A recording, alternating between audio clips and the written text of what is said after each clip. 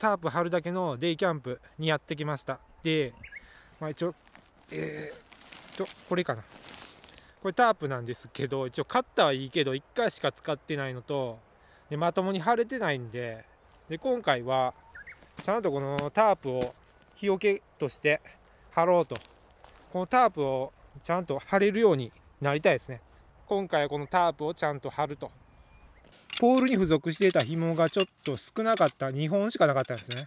2本しかなかったんでポール1本につき1本の紐で固定したんだけどそれだとやっぱりうまくいかなかったんでやっぱポール1本につき2本の紐で固定したいということでまあこれダイソーで売ってた紐なんですけどまあいけるかって感じで、えー、7メートル。というわけでやっていこう。えーとどうやって組み立てやったっけ？ポールどんなやったっけ？なんかもう完全に忘れてるよな。なんか紐の結び方とかも忘れましたね。あれだけやったのに。ポールを作る。ペグと紐。ペグと紐。でまあこれは布。布っていうか タープ本体。とりあえずタープ本体広げる。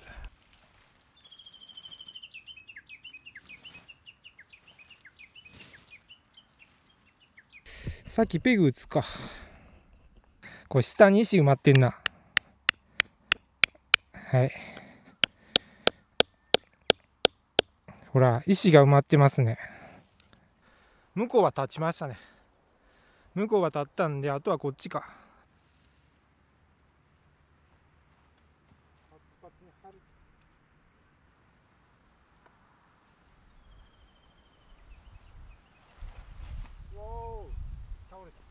バイクのフレームを使い立ちましたね。あとは反対側倒れた方。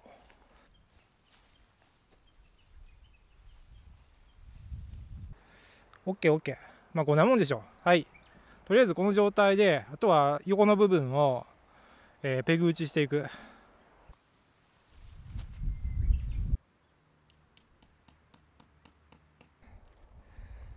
こんなもんか。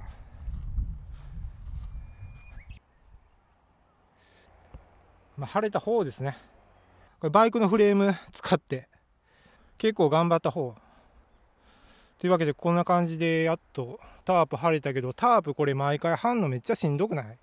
テントや車やバイクやらあるもん活用してフレームにした方がいいってことやね。はい。まあこんな感じ。中こんな感じですね。やっぱなんか屋根があると落ち着くんやね人間って。紐をパツパツに貼るといい感じに貼れると。ほら。で紐をたるんでるとこの屋根もたるむんですね。でも紐をパツパツに貼るにはペグをちゃんと打たないといけないんですけどそれがむずいな。こういう地面だと。